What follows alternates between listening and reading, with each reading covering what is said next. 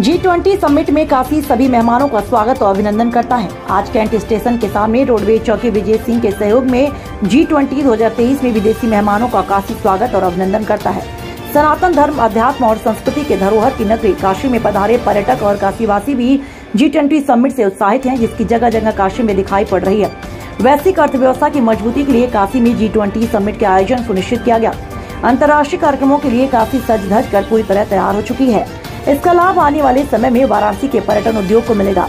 उसी संदर्भ में आज युवा फाउंडेशन के सदस्यों ने काशी के मेहमानों के स्वागत और और अभिनंदन के लिए शहर में संचालित ऑटो रिक्शा के पीछे पोस्टर के माध्यम से मेहमानों का स्वागत और अभिनंदन का संदेश दिया। अमित कुमार यादव शिवदत्त द्विवेदी, अनूप पांडे जी के साथ ही संस्था के समस्त लोग नकी हैदर नकी हैदर दनिश, सलाउद्दीन अली, अमित शर्मा, पुष्कर दीक्षित, गौरव सुमन, गोविंद सिंह, आलोक चौधरी आदि लोग मौजूद रहे। यूपी वाराणसी से रवि